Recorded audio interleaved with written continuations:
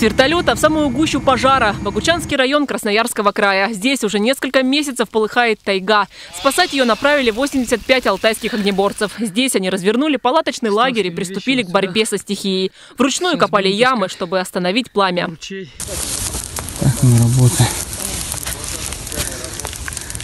Траншея. Всего было 8 групп, до одной, кстати, пламя все-таки добралось. Спасателям пришлось экстренно эвакуироваться. Эвакуация. Полная эвакуация лагеря. Огонь в 30-40 метрах от нас. Палатки сгорели. Никто из спасателей, к счастью, не пострадал. Сегодня, когда уже все позади, пожарные вспоминают самые страшные моменты командировки. Тушим, проливаем с ранцами. И тут мне показалось, что сверху, я говорю, о, пацаны, вертолеты сейчас будут на нас сбрасывать воду. Они говорят, нет, это верховой пошел. Бежим, бегом. Верховой пожар опасен тем, что в считанные секунды распространяется по ветру. От него не просто скрыться. Нашим огнеборцам по-настоящему повезло. Повезло и местным жителям, так как они были достаточно далеко от очага возгорания.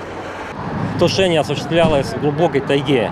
Ближайшие населенные пункты, там деревни были, находились наверное, в 10-8 километрах. А животные? Животные, животные они как бы более приспособленные, чем люди, они уже на запах, от запаха гари ушли в более безопасные районы. Алтайские спасатели со своей задачей справились. За две недели потушили более двух тысяч гектаров леса.